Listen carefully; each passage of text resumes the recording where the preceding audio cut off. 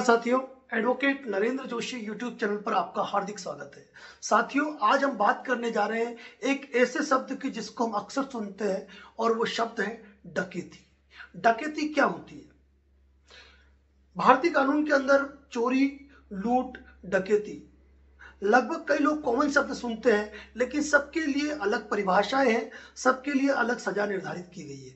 वही आज हम चर्चा कर रहे हैं, जिस मुद्दे की, वो है डकैती। भारतीय दंड संहिता की धारा तीन सौ इक्यानवे, थ्री नाइन वन के अंदर डकैती को परिभाषित किया गया है कि जब पाँच या पाँच से अधिक व्यक्ति मिलकर कोई लूट करते हैं, या लूट करने का प्रयत्न करते हैं, या सहायता करते हैं तो वह डकैती कही जाती है।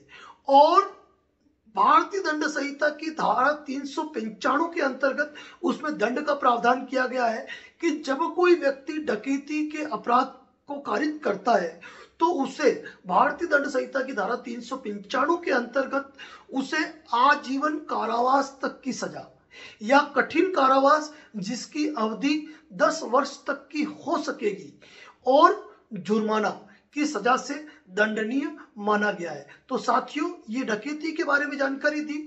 इसी प्रकार के अपडेट कानूनी रूप से आप पाना चाहते हैं तो इस चैनल को सब्सक्राइब ज़रूर करें।